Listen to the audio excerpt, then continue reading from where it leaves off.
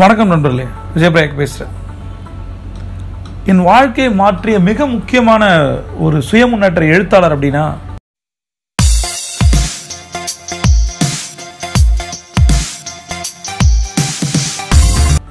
நெப்போலியன்களை பற்றி நான் சொல்வேன். இதை பற்றி தான் இந்த சீரியஸ் போயிட்டு இருக்கு மனம் தரும் பணம். இந்த வார்த்தையே மிக அழகு நண்பர்களே. இந்த மனம் தரும் பணம். பணம் எப்படி மன மனம் வந்து எப்படி பணத்தை தருது? இதை தந்தவர் முதல்ல இந்த பணத்தை தரப்போற அந்த மனத்தை நமக்கு தந்தவர் யார்? இந்த நெப்போலியன்கள். அவர் என்ன விஷயங்கள் சொல்லியிருக்காரு அப்படின்னு சொல்லலாம்னு நினைக்கிறேன் நான். என்னன்னா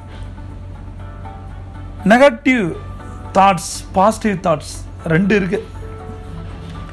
இதை ஓவர் கம் பண்ணி எது ப்ளஸ்ஸோ அதை பெ- மிகப்பெரிய ப்ளஸ்ஸாக மாற்றணும் எது நெகட்டிவோ அதை எடுக்கணும். இதுதான் என்ன சொல்கிறார் நெப்போலியன்னா செல்ஃப் மாஸ்டரி அப்படின்னு ஒரு வேர்ட் கால் செல்ஃப் மாஸ்டரி நம்மளோட எண்ணங்களுக்கு நாம் ஒரு மாஸ்டராக மாறணும் அப்படின்னு சொல்லுவார். இந்த இதை நான் படிக்கும்போது என் குரு பேசும்போது ஒரு சில விஷயங்கள் நான் கேட்பேன். என்னன்னா பணம் சம்பாதிக்கிறது எப்படி அப்படின்னு கேட்கறது ரொம்ப ரொம்ப ஈஸி நிறைய எனக்கு கமெண்ட்ஸ் வரும். கடன் அடைப்பது எப்படி? நான் இந்த பிஸ்னஸ் பண்ணேன் இவ்வளோ லாஸ் ஆனேன். வந்து எப்படி கடன் அடைக்கிறது? ஒற்றை வார்த்தையாக கேட்பாங்க. கடன் எதனால் வந்தது? நோய் எதனால் வந்தது? பல காரணங்களால் வரலாம். அதை முதல்ல கண்டுபிடிக்கணும். எந்த அளவுக்கு வந்துச்சோ அது போராடத்து போகிறதுக்கும் அந்த அளவுக்கு டைம் ஆகும். என்னோடய கிளைண்ட்ஸில் நூற்றுக்கு தொண்ணூறு பேருக்கு அந்த மாதிரி தான் இருக்கு பத்து பர்சன்டேஜ் பீப்புள் மட்டும்தான் அவங்க கடன் வந்து அஞ்சு வருஷமாக இருக்கும். கடன் அடைச்சது ஒரு வருஷம் ரெண்டு வருஷம் தான் இருக்கும். பட் அவங்க போடுற எஃபோர்ட்டு அந்த கான்சன்ட்ரேட்டட் அந்த ஃபோக்கஸ் அது ரொம்ப ரொம்ப முக்கியம் ரைட் அப்போ பணம் சம்பாதிக்கிறது எப்படி கடன் அடைக்கிறது எப்படி அப்படின்றத விட இதுக்கு ஒரு மூல காரணம் இருக்குல்ல. அதை சரி பண்ணிட்டு அந்த கேள்வியே வராதுல்ல. அது என்ன அப்படின்னா நம்மளோட தாட்ஸ் அதுதான் வந்து நெப்போலியன் சொல்கிறாரு அது வந்து நம்ம மாஸ்டர் ஆகணும் தாட்ஸுக்கு அப்படின்னு சொல்கிறாரு இந்த தாட்ஸுக்கு உண்மையாலுமே மாஸ்டர் ஆக முடியுதா? நான் என்ன மாதிரி சூழ்நிலையில் இருந்தேன்? எப்படி வந்தேன்? இப்போ எனக்கு நிறைய கேள்விகள் வருது. இப்போ கூட ஒரு ஒரு பிரேக்கப் கொஸ்டின் வந்துச்சு.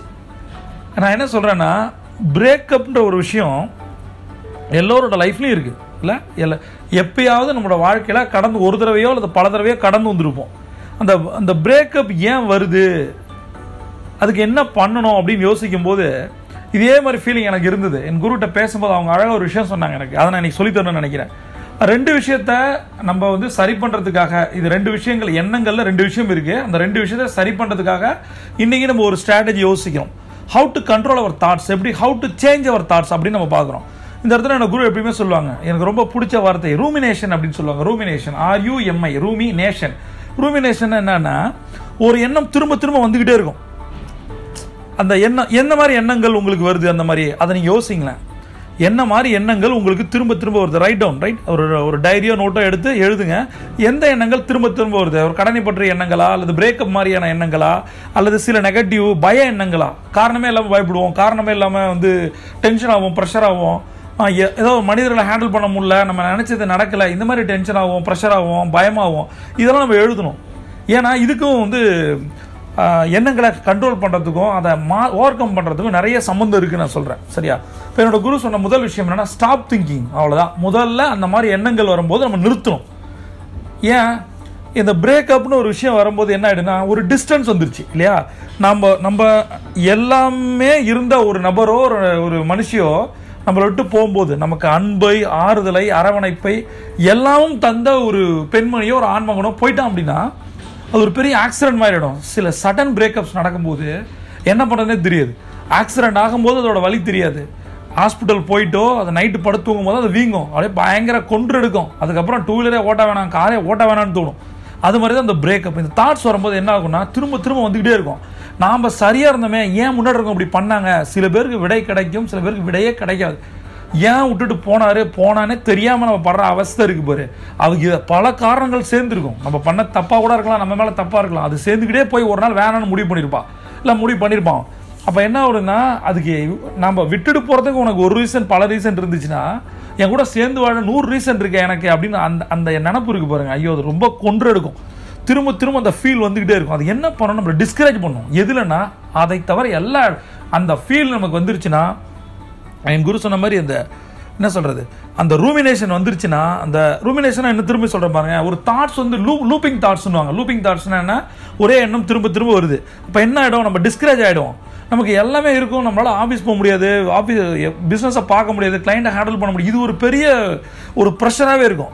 இது கொடுக்குற ஸ்ட்ரெஸ்ஸும் வந்து நம்ம எப்படி நம்ம ப்ரொடக்டிவிட்டியை ஸ்பாயில் பண்ணும்? நம்ம மனுஷங்க தானே. நம்ம வந்து ஹார்ட் வந்து உணர்வுகளால் தான் செய்யப்பட்டிருக்கு. நம்ம ஒன்றும் ரோபோ கிடையாதுல்ல. ரைட் இப்போ இதை எப்படி மாற்றணும் அப்படின்னா இது கொடுக்குற அந்த ஃப்ரஸ்ட்ரேஷன் அந்த டிஸ்ட்ரெஸ் வந்து முதல்ல நம்ம வெளியில் வரணும். புரியுதா? நாம் இதிலிருந்து வெளியில் வரணும் நம்ம நினைக்கிறோம். ஒருவேளை அந்த அவங்களோ நம்மளை விட்டு போனவங்க ஒரு காலத்தில் திரும்பி வரலாம். அதை ஏற்றுக்க தயாராக இருக்க முடியுமா? அது ப்ராக்டிக்கலாக அது என்னன்றது இது ஒவ்வொன்றும் தனிப்பட்ட மனிதர்கள் எடுக்க வேண்டிய முடியும் இந்த வீடியோ மூலம் என்கிட்ட அந்த கேள்வி கேட்ட அந்த பொண்ணுக்கு நான் தான் நான் சொல்கிறேன் சரியா? இது வந்து அதுலேருந்து மாறி வரணும். இப்போ பிரேக்கப் நடந்துருச்சு இனி சேர முடியாதுன்னு தோணிடுச்சு அப்படின்னா அந்த ஃபீல்டில் அந்த ஆக்சிடென்ட் நடந்துருச்சுல இப்போ அது அந்த காயத்துலேருந்து மீண்டு வரணும். அந்த காயத்தோடய போராட முடியாது. சரியா காயம் சுகம்லாம் சொல்லிட்டு ஓட்ட முடியாது. காயம் வந்து கஷ்டம். அது வந்து எல்லாருக்கும் கஷ்டம். நமக்கும் கஷ்டம் நம்ம சுற்றி இருக்கலும் கஷ்டம். இதை பற்றி பேசுகிறதே கஷ்டம். அப்போ அதுலேருந்து நம்ம மீண்டு வரணும் இல்லையா? அப்போ என்ன பண்ணணும்? முதல்ல நம்ம கன்வின்ஸ் பண்ண கற்றுக்கணும் என்ன என்ன ப்ராப்ளம்னா நம்மளால நம்மளை கன்வின்ஸ் பண்ண முடியாது. நிறைய ட்ரபுள் வருது. ஆனால் நான் இந்த தடவை சொல்கிறேன் அந்த ஃபீலிங்ஸை உற்று நோக்கணும். எந்த ஃபீலிங் உங்களுக்கு ஸ்ட்ரெஸ்ஸை கொடுக்குது எந்த ஃபீலிங் உங்களுக்கு சேலஞ்சை கொடுக்குது அதை தூக்கி எறியணும். முதல்ல ஐடென்டிஃபை பண்ணணும். எந்த பிரச்சனைலேருந்து நான் மாற விரும்புகிறேன் எந்த சவால்லேருந்து மாற விரும்புகிறேன் எந்த எண்ணங்கள்லேருந்து நான் மாற விரும்புகிறேன் பிரேக்கப்ல ஒன்று நடக்கவே இல்லை ஒருத்தி ஒருத்தனை பார்க்கவே இல்லை. அப்படி நினைங்க அவ்வளோதான் சரியா? அப்போ ஒரு முடிவு எடுங்க. என்ன தெரியுமா? என்னால் என்னோட எண்ணங்களை கண்ட்ரோல் பண்ண முடியும் போது எந்த ஒரு நெகட்டிவும் எந்த ஒரு பிரச்சனை எந்த ஒரு பிரச்சனை எந்த ஒரு ஸ்ட்ரெஸ்ஸும் எதுவுமே நம்மளை ஒன்றும் பண்ணிட முடியாது. சரியா? எவனும் என்ன டிஸ்கரேஜ் பண்ண முடியாது. எவனும் எவனும் என்னை எமோஷனல் செட்பேக் பண்ண முடியாது. இதை உறக்க சொல்லுங்க. இதுதான் அஃபர்மேஷன் நான் சொல்கிறேன் ஒரு எமோஷனல் செட்பேக்ஸ் நடக்குது. ஒவ்வொரு டிஸ்கரேஜிங் தாட்டும் திரும்ப திரும்ப வரும்போது என்ன ஆகுது? நம்ம வாழ்க்கையே சேலஞ்ச் ஆகுது. ஒரே ஒரு மனுஷன் ஒரு மனுஷியே நம்மளை பிரச்சனைக்குள்ளாக முடியுமா? நம்ம எதிர்காலத்தை சிதைக்க முடியுமா? அதுக்கு தான் சொல்கிறேன் நீங்கள் ஒரு விஷயத்த முடிவு எடுத்து தான் ஆகணும். இது ரொம்ப ரொம்ப கஷ்டம் தான் ஹார்டு ஆனாலும் அந்த அந்த விஷயத்தை கண்ட்ரோல் பண்ணி தான் ஆகணும் ஏன்னா இது ஒரு ஸ்பைரலிங் தாட்ஸ் அப்படின்னு குரு சொல்லுவாங்க. ஒரு எண்ணம் திரும்ப திரும்ப திரும்ப சுற்றிக்கிட்டு ஒரு சுழல் மாதிரி யோசிச்சு பாருங்க ஒரு குளத்துல இறங்குறீங்க. அது சுழலில் மாட்டிங்கன்னா என்ன வைங்க? கீழே இறங்குறீங்க. ஏதோ ஒரு புதரில் மாட்டிக்கிட்டீங்கன்னா ஒரு கொடியில் மாட்டிக்கிட்டு அது மாதிரி தான் அந்த எண்ணங்கள். ஓவரால் அந்த மைண்ட் செட்லேருந்து நீங்கள் வெளியில் வந்து தான் ஆகணும் அதுக்கு என்ன பண்ணும்? முதல்ல நீங்கள் எந்த எண்ணத்தோட என்கேஜ் ஆகுறீங்க? அதை முதல்ல யோசிங்க. சரியா? இது கொடுக்குற விஷயம் என்ன ஆயிடுதுன்னா ஒரு மனுஷனோட பாசிட்டிவ் செல்ஃப் டாக்கை உடச்சி நெகட்டிவ் செல்ஃப் டாக்கை மாற்றும் இந்த ரூமினேஷன் சொல்லப்படுற அந்த லூப்பிங் ஷாட் திரும்ப திரும்ப திரும்ப அப்படியே வந்து டிஸ்டர்ப் பண்ணிகிட்டே இருக்கும். நம்ம நார்மலாக இருக்கவே முடியாது. இதை மாற்றி நம்ம கொண்டு வரணுன்றதுக்கு டைம் ஆகும். ஆனால் இந்த இடத்துல என்ன சொல்ல தெரியுமா? அதை அக்செப்ட் பண்ணுங்க. அந்த அன்வான்ட் தாட்ஸ் இது. ஆமாம் இது எனக்கு தேவையில்லாத எண்ணம். எனக்கு கமிட்மெண்ட் இருக்குது எனக்கு ஃபேமிலி இருக்குது நிறைய முன்னாடி டார்கெட் இருக்குது கோல்ஸ் இருக்குது எனக்கு கனவுகள் இருக்குது ஏதோ ஒரு விஷயத்தால் நான் அஃபெக்ட் ஆகி என்னை சார்ந்தவங்களையும் என்னை நம்பி இருக்கவங்களையும் அஃபெக்ட் பண்ண போகிறேனா சொல்லுங்கள் இந்த பெயினில் இருந்து நான் வெளியில் வரணுமா வேணாமா? டிஸ்ட்ரெஸ் கொடுக்குற அந்த மனுஷன் மனிதனை விட மனுஷனை விட்டு வெளில போகணுமா வேணாமா? இந்த இடத்துல என்னோட குரு சொல்லுவாங்க எப்பயுமே கெயின் யுவர் கண்ட்ரோல் கண்ட்ரோல் பண்ணு உன்னோட தாட்ஸை வந்து கண்ட்ரோல் பண்ணு அவ்வளோதான் இந்த இடத்துல வேற வழியே கிடையாது. இது தேவையில்லன்னு முடிவு பண்ணிட்டோம் சரியா? ஏன் வந்து நம்ம வந்து திரும்ப அதுக்குள்ளே போயிட்டே இருக்கணும்? அந்த எண்ணமே இல்லைன்னு நினைக்கணும். இது கஷ்டம் தான் இதுக்கு டைம் ஆகும். நான் சொல்கிறேன் முடியாது உலகத்தில் எதுவுமே இல்லை சரியா? அந்த அந்த தோழிக்கு நான் அதை சகோதரிகிட்ட சொல்கிறத தான் நானும் இதை தாண்டி தான் வந்திருக்கேன். எப்படி கடனை அடைச்சி கஷ்டப்பட்டு வெளியில் வந்தோன்னா அது போல் இந்த மாதிரி பிரச்சனைகள் வந்து வந்திருக்கேன். எல்லாருக்கும் இது ஒரு இதை நீங்கள் பெருசாக எடுத்துக்க வேண்டிய அவசியம் இல்லை. சரியா? எதுவுமே நீங்கள் நினச்ச மாதிரி நடக்கணும்னு அவசியம் இல்லை. எல்லாமே நம்ம நினச்சது நடக்காது. அதான் லைஃபு ஆனால் நினச்சது நடக்காத போது நினச்சதை நடக்க வைக்கிறவன் தானே சாம்பியன் அவன் தானே மனுஷன். அதற்கு தானே குரு. அதுதானே எக்ஸ்பீரியன்ஸ் அதுதானே அறிவு. அதுதானே படிப்பு. அதுதானே அனுபவம். நம்ம சுற்றி இருக்க மனிதர்கள் போதிக்கிறது அதுதானே. அப்போ இதுலேருந்து வெளியில் வர முடியல எதுலேருந்து உன்னால் வெளியில் வர முடியும்? அப்போ யோசிக்கணும். அப்பட ஒவ்வொரு எண்ணங்கள் வரும்போதும் அந்த எண்ணங்கள்ல இருந்து மீண்டு வர்றதுக்கு இது தேவையா? தேவையில்லான்னு முடிவு பண்ணியாச்சு. தேவையில்லாத எண்ணத்துக்குள்ள நம்ம ஏன் போகணும்? ரைட் இதுக்கு ஒரு மாற்று நான் சொல்றது என்னன்னா ஒரு ரெமடின்னு சொல்லலாம். இந்த மாதிரி எண்ணங்கள் எனக்கு அதிகமாக வரும்போது நான் ஒரு முடிவு பண்ணேன். எப்பயுமே நான் தனியாக இருக்கும்போது இந்த மாதிரி சேலஞ்சஸ் வரும். இந்த ஃபிட் இந்த அதாவது பிரேக்கப்புக்கு மட்டும் கிடையாது. உங்களுக்கு ஒரு கெட்ட பழக்கம் இருக்குது அந்த எண்ணங்கள் வருது அப்படின்னா தனிமையில் அதிகமாக வரும். ஏதாவது செய்யணும்னு தோணும். இந்த சூசைடல் தாட்டு கூட அது மாதிரி தான் அப்போ தனிமையில் இருக்கக்கூடாது. நம்ம நிறைய பேரோட இருக்கணும். ஆனால் நிறைய பேர் இருக்கிற ஒரு அட்வான்டேஜ் எடுத்துக்கிட்டு அவன்கிட்ட புலம்பி சாவடிக்கக்கூடாது. நம்மளும் செத்து அடுத்தவனையும் சாவடிக்கிறதுக்கு பேர் என்ன? லவ் ஃபீலிங்ஸா அது வேணான்ற நான். முடிஞ்சால் அடுத்தவனுக்கு பாசிட்டிவாக பேசி. இல்லைன்னா பேசவே பேசாத. ஒன்றும் தனிமையில் இரு. யார் கூடயும் இருக்காத. கிளம்பி ஒரு மெடிடேஷன் சென்டருக்கு நான் போனேன். போய் அவங்கள்ட்ட இந்த பிரச்சனையை சொன்னேன் நான். எனக்கு இதில் எந்த ஒரு வெட்கமும் இல்லை. நான் தோற்கடிக்கப்பட்டவன் தோற்றவன் என்பதில் நான் கடங்காரன் என்பதில் சொல்றதுல எனக்கு எந்த ஒரு வெட்கமும் கிடையாது. நான் சந்தோஷமாக சொல்கிறேன் சரியா? அதாவது வீழ்வது வெட்கம் அல்ல வீழ்ந்து கிடப்பது தான் வெட்கம் சொன்னாங்க.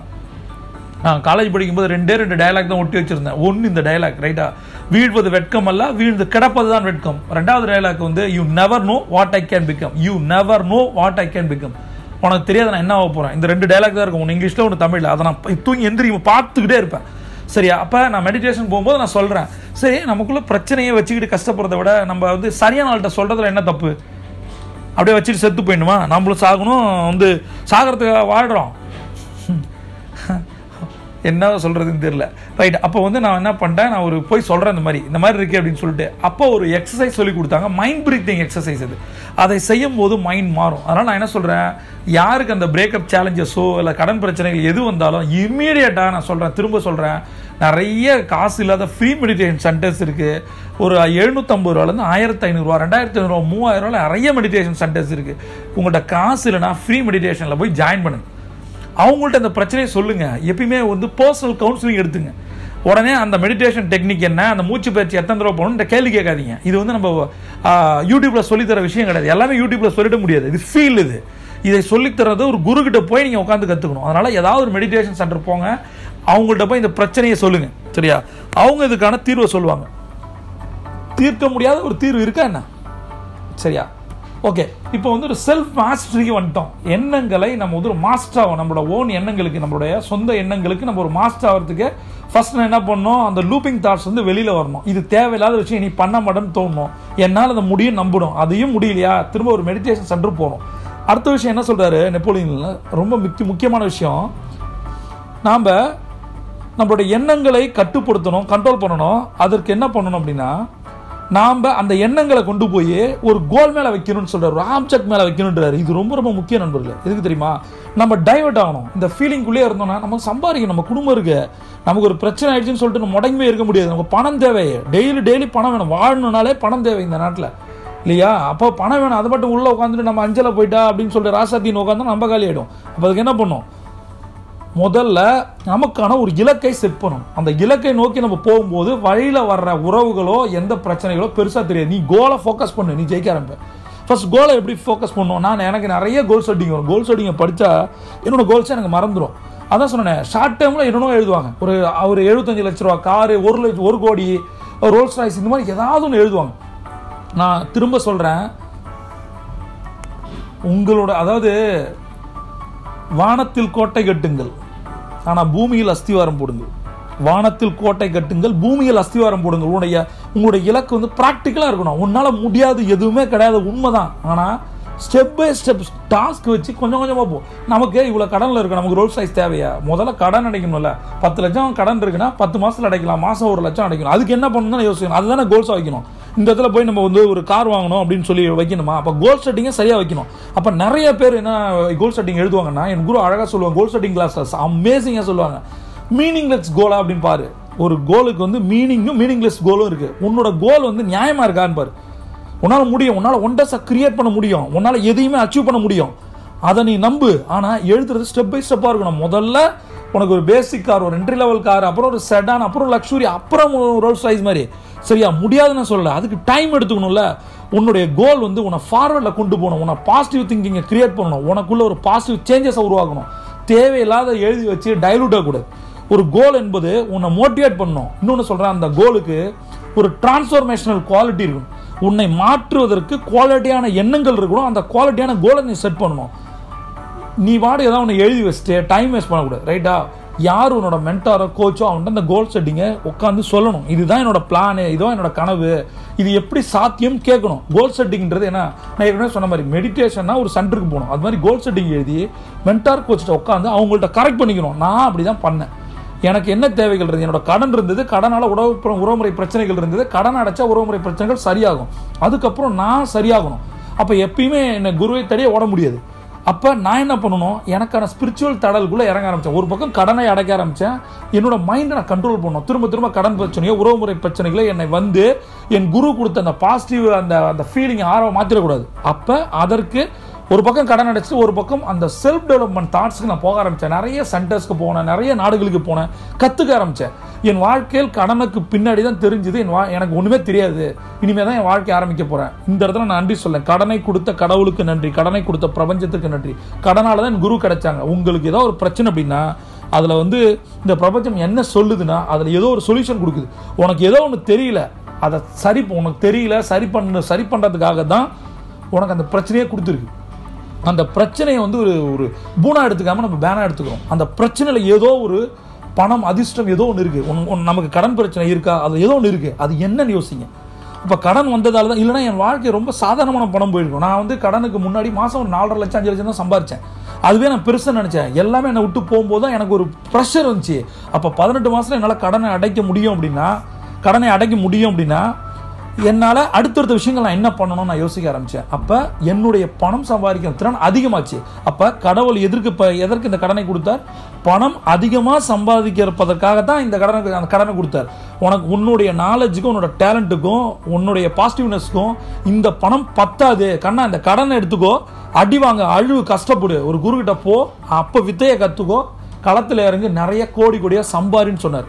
அதனால் கடனோட இருக்க மனிதர்களுக்கு நான் சொல்கிறேன் உங்களுடைய தாட்ஸை நீங்கள் மாஸ்டராக மாற்றுங்க திரும்ப திரும்ப லூப்பிங் தாட்ஸ் வருது அப்படின்னா ஒரு இலக்கை செட் பண்ணுங்க. அந்த இலக்கு ப்ராக்டிக்கலாக இருக்கணும் அச்சீவ் பண்ணக்கூடியதாக இருக்கணும். ஏதாவது கோல் செட்டிங்கில் டவுட் இருந்தால் என்கிட்ட கேளுங்க. கீழே ஒரு டிஸ்கிரிப்ஷன் லிங்க் கொடுத்துருக்கேன். கோல் செட்டிங் பற்றிய வீடியோக்களை பாருங்கள் நோட்ஸ் எடுங்க இம்ப்ளிமெண்ட் பண்ணுங்க. சேலஞ்ச் இருந்தால் என்கிட்ட கேளுங்க. பிரபஞ்சம் கொட்டித்தர காத்திருக்கு. நீங்கள் ஒரு சாம்பியன் சி ஆன் டாப்